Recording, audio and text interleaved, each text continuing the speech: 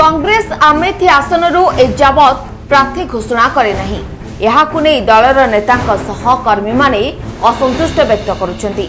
ରାହୁଲ ଗାନ୍ଧୀ ଏହି ଆସନରେ ଲଢ଼ିପାରନ୍ତି ବୋଲି କୁହାଯାଉଥିଲେ ମଧ୍ୟ ସେଭଳି କିଛି ସଂକେତ ମିଳିନାହିଁ ସେ ଆମେଥିରୁ ଲଢ଼ିବାକୁ ଇଚ୍ଛୁକ ନଥିବାରୁ ଦଳର କର୍ମକର୍ତ୍ତା ହତାଶ ହୋଇପଡ଼ିଛନ୍ତି ସେପଟେ ବିଜେପି ପ୍ରାର୍ଥୀ ସ୍ମୃତି ଇରାନୀ ଏଠାରେ ନାମାଙ୍କନ ଦାଖଲ କରିସାରିଛନ୍ତି।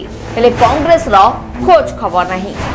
ତେବେ ସବୁଠୁ ବଡ଼ କଥା ହେଉଛି ଆମେଥିରେ ପ୍ରାର୍ଥୀ ନ ଦେବାକୁ ନେଇ ଗୌରୀଗଞ୍ଜ ସ୍ଥିତ କଂଗ୍ରେସ ଭବନ ପରିସରରେ ବ୍ଲକ ଅଧ୍ୟକ୍ଷ ତଥା କଂଗ୍ରେସ ନେତା ଅଭନେଶ ମିଶ୍ରା ସେନାନୀ ଆତ୍ମହତ୍ୟା ଉଦ୍ୟମ କରିଛନ୍ତି। ସେ ଗଛରେ ଝୁଲି ପଡ଼ିବାକୁ ଉଦ୍ୟମ କରୁଥିବା ବେଳେ ତାଙ୍କୁ କର୍ମୀମାନେ ବଞ୍ଚାଇ ଦେଇଥିଲେ। ଅଭନେଶ କହିଛନ୍ତି ଯେ ଆମେ ପାଞ୍ଚ ବର୍ଷ ଧରି ପରିଶ୍ରମ କରୁଛୁ। ଗାଁ ଗାଁ ବୁଲି ଦଳକୁ ସାଂଗଠନିକ ସ୍ତରରେ ମଜବୁତ କରିଛୁ। ପ୍ରାୟ ସମସ୍ତ ଦଳ ପ୍ରାର୍ଥୀ ଘୋଷଣା କରିସାରିଛନ୍ତି।